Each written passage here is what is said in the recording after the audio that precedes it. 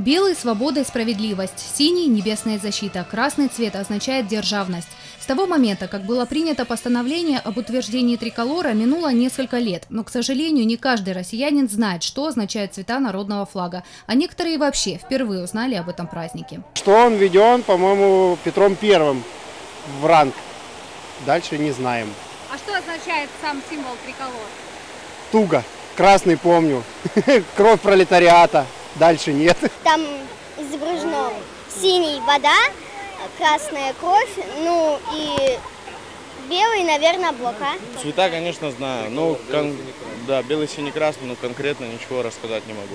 Заполнить пробелы в знаниях попытались представители сочинских молодежных движений. В парке «Ривьера» активисты раздавали жителям и гостям курорта символичные ленты, шары и рассказывали о празднике. Также все желающие могли запечатлеть символ страны на своем теле. Основная цель нашей акции – напомнить людям о том, что российский флаг Российской Федерации – это наш государственный символ, историю которого нужно знать, уважать и патриотично нести на своей груди как причастность к нашей стране.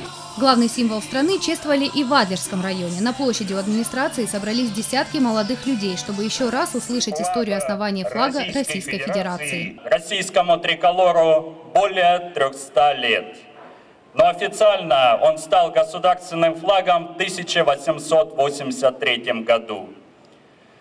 В настоящее время правительство уделяет особое внимание этому празднику. И уже 19 год он празднуется как официальный. Кульминацией празднования Дня российского флага стали мото- и автопробеги. Автопробег в день основания российского флага становится традиционным. Впервые акция была организована в прошлом году. На этот раз 30 машин проедут по главной улице курорта, украшенные шарами, лентами и флагами триколора. Эта колонна стартовала от площади Южного Мола и проехала до Хосинского района. Не меньше автомобилей с символами триколора проехали по улицам Адлера.